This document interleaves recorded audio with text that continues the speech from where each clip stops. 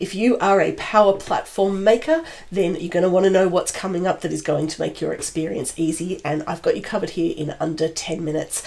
Let's take a look at the Wave 1 2023 release. And I'm going to go through this in sections rather than ranked, although I do have a favorite thing that I'm saving until the end. Let's start with Power Apps, and there are great things here for both model and canvas app makers. First up, virtual tables. Now, virtual tables are where you've got data in another source that you want to use in your model driven app, but you don't want to build an integration or duplicate or bring those across. So I get people all the time asking, can I build my model driven app on SharePoint? No, you can't. Model driven apps are built on Microsoft Dataverse. However, if you've already got a SharePoint list, let's say you've got your asset list in a SharePoint and you've got other people in your organization using that and you don't want to move it and you don't want to have to build an integration, now, what we're going to do is say you can make that a virtual table. You'll be able to use the low code maker experience. So you previously could do this, but it was tricky and you needed to bring in someone who knew what they were doing with the high code end of things.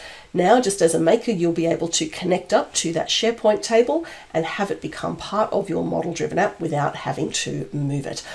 I am really excited about this one. I did say I wasn't going to do this in order, but honestly, this is pretty much number one at number one here, and I'll definitely be doing a video on this when I get a chance to get my hands on it. So make sure you're subscribed if you are interested in learning more about that. Next up, we have the ability to add table columns to forms and views in your model driven app automatically. So imagine this scenario. I built my model driven app, I come back and I've realized that I need to add another couple of columns to one of my tables. Now I have to go back into my form and drag and drop and add it in. I have to go back to my view and drag and drop and add it in. And if you've got multiple forms and multiple views, that gets pretty tedious. You have to remember to put it everywhere this is going to be a feature that's going to it's going to change our lives really if you're a model driven app maker don't say that lightly there'll be a button that you'll be able to use to just update automatically again watch this space. I'll definitely be showing you how that one works when it's coming through. And if you're a canvas apps maker then you will be familiar with the fact that we have got these responsive containers in canvas apps.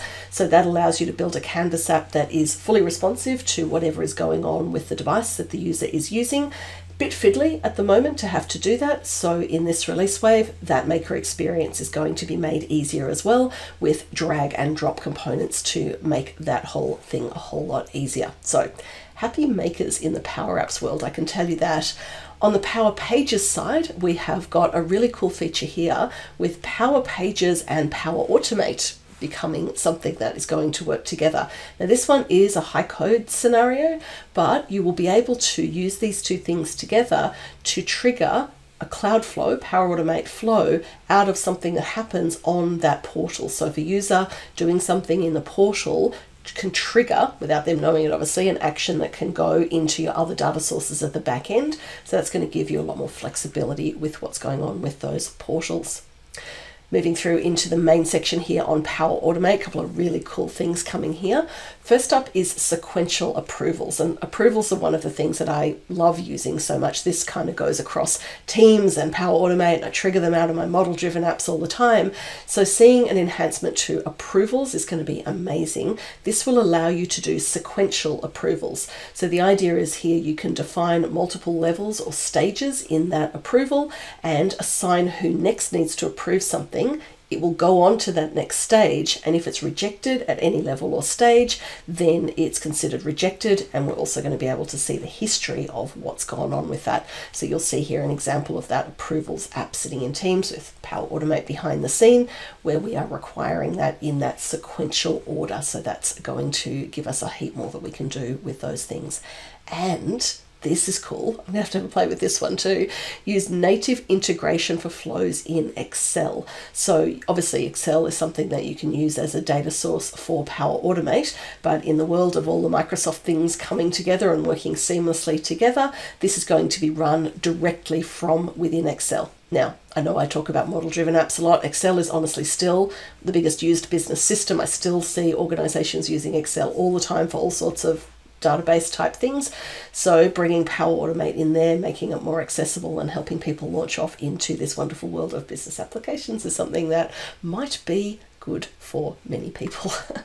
Power Virtual Agents, creating chatbots here. We saw late last year some of the new preview of some of the new Maker experience. So some of those things are now starting to become generally available. And the one that I'm most excited about here is the ability to use Power FX in the authoring canvas. So as you're building out your chatbot, being able to put formulas, and this is where if you haven't already invested time in learning that Power FX language or getting across it, it's popping up everywhere. It's the heart of Canvas apps. It's here. It's starting to pop up in model-driven apps as well. So that investment of time is going to be worth it. Plus, you can use ChatGPT to help you craft those formulas. So you don't necessarily have to be an expert, but get your head around what PowerFX is doing.